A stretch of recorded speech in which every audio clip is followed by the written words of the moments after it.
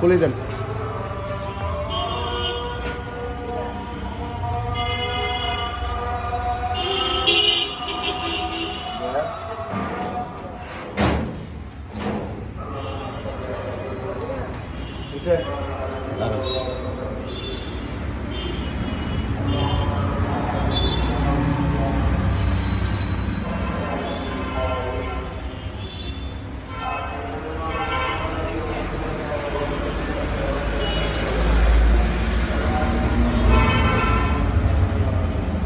আমি বন্ধ করে দেব